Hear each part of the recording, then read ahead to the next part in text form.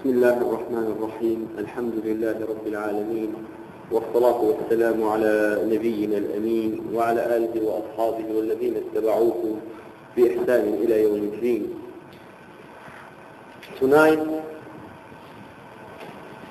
the 6th of Shawwal, 19, uh, 14, 19, we're going to be continuing talking about Tawheed. From the book of Shaykh al-Islam Muhammad bin Abdul Wahab. We have stopped the explanation before the start of the month of Ramadan and now inshallah we're going to pick up and to continue the explanation of this very important book.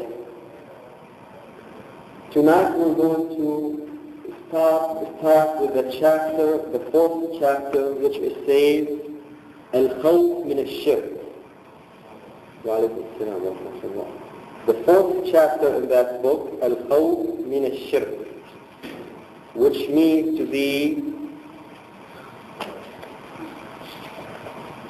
fear from shirk to fear falling into shirk what does shirk mean?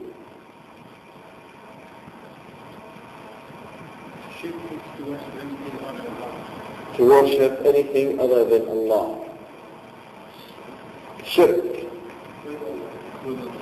With Allah, other than Allah.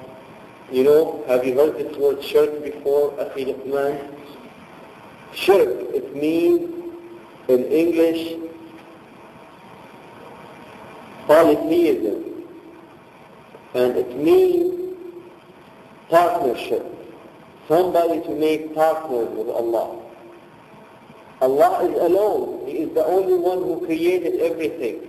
When somebody says there is another creator, he is making partners with Allah.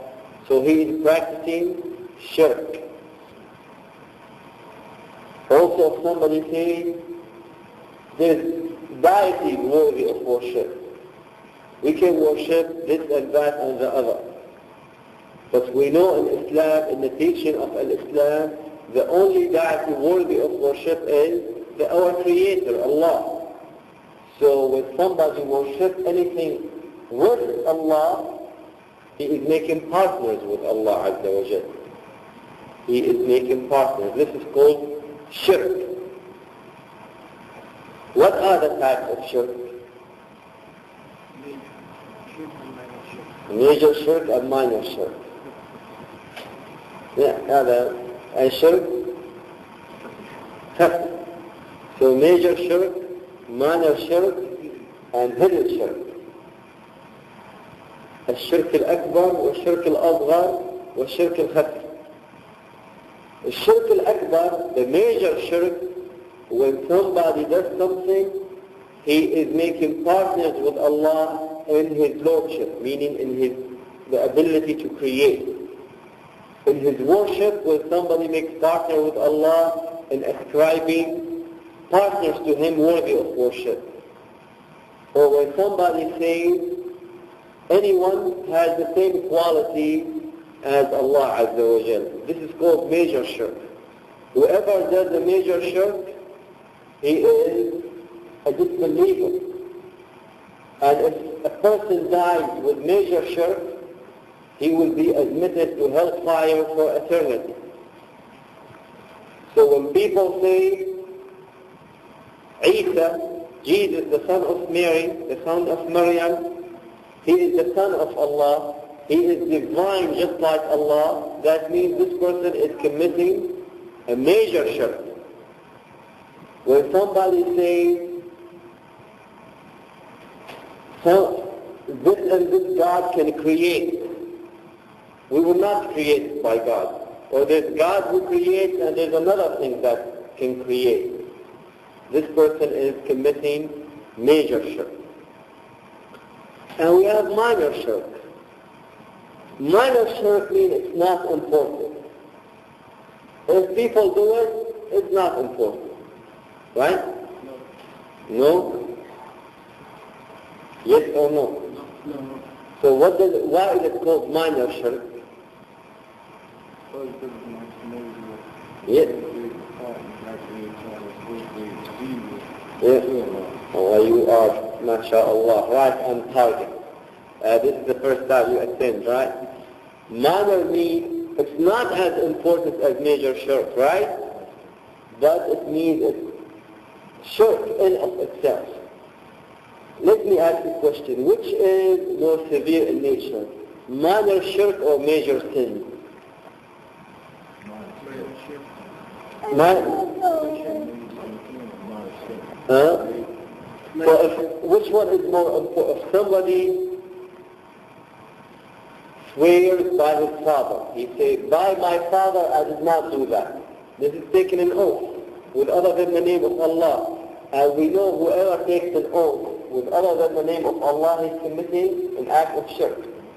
Which one is more severe in nature? For somebody to make such an oath or with somebody who commits an act of fornication?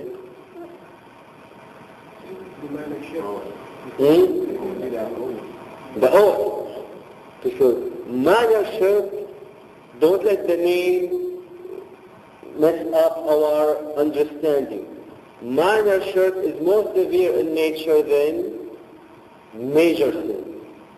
So here, in the fourth chapter of this book, the author of this book has a very good sequence. First, he talks about Tawheed, that every one of us has to establish Tawheed.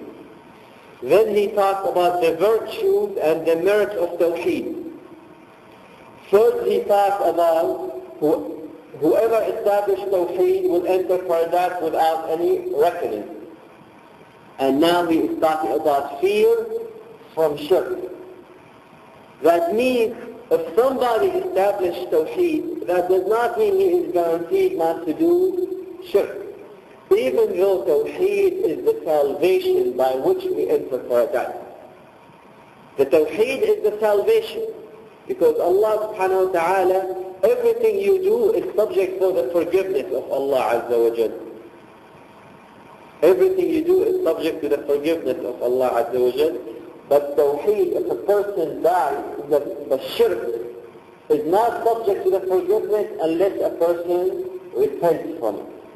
So our salvation is to establish Tawheed and by the mercy and the bounties of Allah Azza wa Jal, uh, we make it to paradise.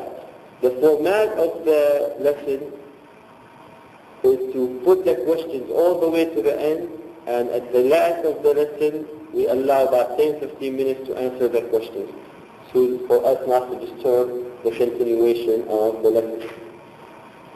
So here it says the first ayah in this book, إِنَّ اللَّهَ لَا يَغْفِرُ أَن يُشْرَكَ بِهِ وَيَغْفِرُ مَا دُونَ ذَلِكَ لِمَنْ يَشَاءُ Verily, Allah does not forgive association and taking partners with Him, and anything else, Allah forgives it to whomever He wants to forgive. So from this ayah, where Allah says He does not forgive, forgive, He does not forgive association, He does not forgive shirk. Does that refer to major, minor, hidden, or only major, or only minor, or what does it refer to? All type of shirk? So if Allah does not refer minor shirk, does not forgive minor shirk, that means we really have to be careful about committing an act of shirk. Because if we do not repent from it, Allah will punish us. But the scholars of Al-Islam, they have different views in deciding is this ayah refers to major shirk or all types of shirk. Even Shaykh al-Islam